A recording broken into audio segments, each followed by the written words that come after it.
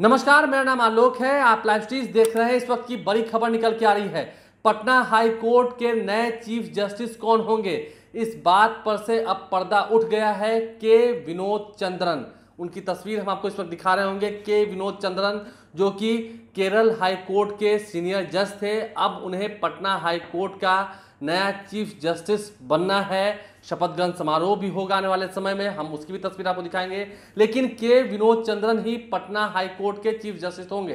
देखिए, इससे पहले संजय करोल, जो कि पटना हाई कोर्ट के चीफ जस्टिस थे, उन्हें अब सुप्रीम कोर्ट भेजा गया था। अब वो सुप्रीम कोर्ट में जज की भूमिका में होंगे। लेकिन फ़िलहाल जो खबरें सामने निकल के आई, चक्रधारी शरण सिंह ही फ़िलहाल मौजूदा समय में एक्टिंग चीफ जस्टिस थे पटना हाई कोर्ट के।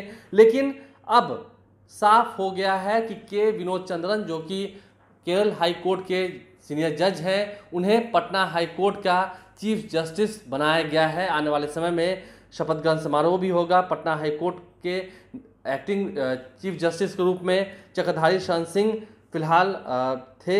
लेकिन आने वाले समय में जिस तरीके से सुप्रीम कोर्ट के जज के रूप में नियुक्त किए गए थे संजय करोल और संजय करोल हिमाचल प्रदेश का प्रतिनिधित्व कर कर चुके हैं, पहले भी वो भी करेंगे, इसकी इससे संभावना जताई जा रही थी। लेकिन फ़िलहाल के विनोद चंद्रन, ये नाम आप समझ लीजिए, पटना हाई कोर्ट के चीफ जस्टिस होंगे। लंबे समय से लोगों की काफ़ी कह सके तो असमंजस की स्थिति बनी हुई थी कि आखिर पटना हाई कोर्ट के नए चीफ जस्टिस के रूप में कौन जज जो है, वो यहाँ पर पदभार ग्रहण करेंगे। तो के विनोद चंद्रन ही वो जज हैं, जो कि केरल हाई कोर्ट के जज रह चुके हैं। वो पटना हाई कोर्ट के चीफ जस्टिस होने जा रहे हैं। फ़िलहाल जो खबर निकल के आ रही है, के विनोद चंद्रन के नाम पर केंद्र सरकार की मोहर लगने के बाद पद और गोपनीयता की वो शपथ लेंगे। 24 अप्रैल 2025 तक ही इनका कार्यकाल है। यानी कि 24 अप्रैल 2025 को वो रिटायर होंगे। उससे पहले तक वो पटना हाई कोर्ट के चीफ जस्टिस के रूप में पदभार को ग्रहण करेंगे और आप समझ सकते हैं। इससे पहले कई सारे चीफ जस्टिस रहे हैं पटना हाई कोर्ट में।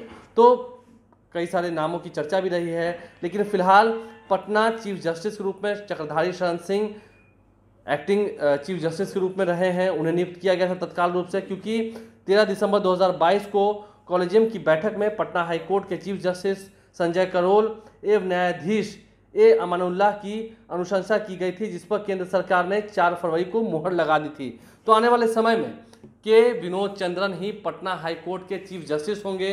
इस वक्त की बड़ी खबर निकल के आ रही है, जिससे हम आपको अवगत करा रहे हैं। और शपथ ग्रहण समारोह जब होगा, जब तस्वीरें निकल के आएँगी। अब देखिए, पटना हाई कोर्ट से भी लोगों उम्मीद रहती है, न्यायालय से लोगों उम्मीद रहती है।